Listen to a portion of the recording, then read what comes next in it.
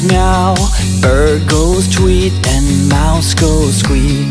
Cow goes moo, frog goes croak, and the elephant goes toot. Ducks say quack, and fish go blub, and the seal goes ow, ow, ow. But there's one sound that no one knows.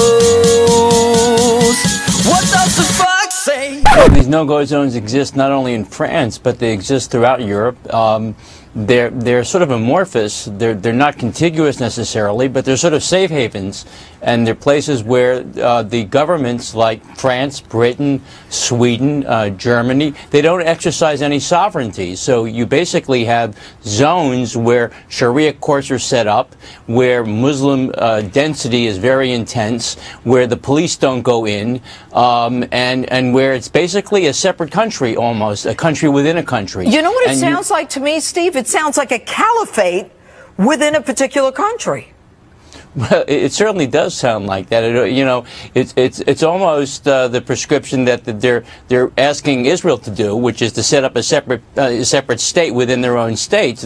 Except they're not they're not recognizing it, and they're they're not dealing with it because they don't want to. I got into a tweet fight with the French ambassador who denied that there are any such things as no-go zones, except on the French you know uh, official website it says there are, and it actually has a map of them.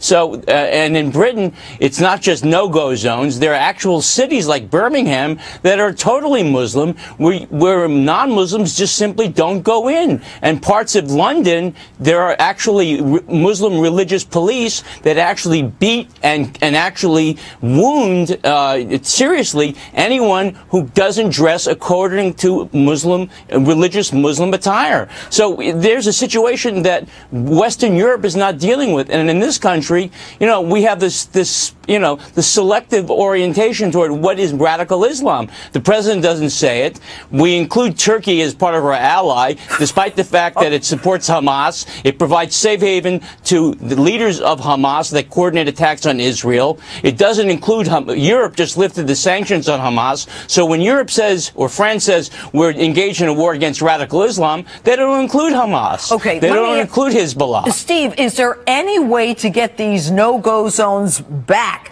In other words, does France want it back? Does Belgium want it back? Does Germany want these zones back? Because what's happening is this is metastasizing into a simple takeover. I think even you said Europe is over. What did you say, Steve? I I said Europe is. Fin- I said the other day Europe is finished because if you extrapolate the number of Muslims, and I'm not saying that all Muslims are terrorists, far from it. Of course But the not. problem is that the leadership of the Muslim communities in Europe deliberately don't want to integrate, and so they establish these zones which refuse to integrate, and they use them as leverage against the host country, uh, uh, as as political and military leverage. So, will these countries take it back? I don't see it happening at this point. You see a reaction by the population, uh, Judge, but I don't see the country elites taking him back. And, and that's really unfortunate because it fosters the whole perpetuation of radical Islamic generations from here to come. All right. I just have a few seconds left. Steve, tell us very quickly about these women. You know, we hear about this woman, uh, Boumeddiene, uh, as well as some of the other female terrorists. Uh, I mean, there are a lot of them in France, I understand.